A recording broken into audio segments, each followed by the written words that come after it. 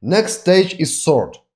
This stage is used to sort input documents, and usually sort stage is placed after the match and group stages. Let's look at the syntax. Sort, then colon and an object.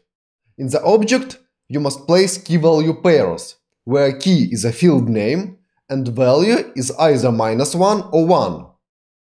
Minus 1 means that sort will be descending and 1 means that sort will be ascending. You can sort by several fields.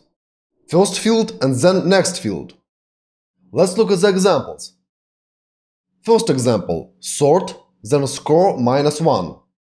In this case, input documents will be sorted by score in descending order.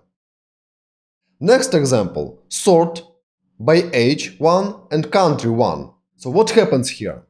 First, we will sort input documents by age, and sort will be in ascending order.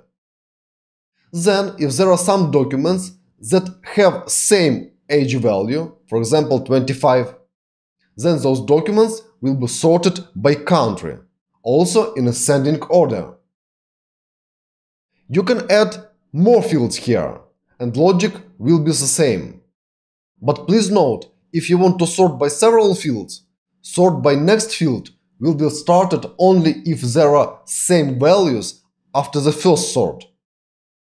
Let's summarize. Sort stage performs reordering of the input documents.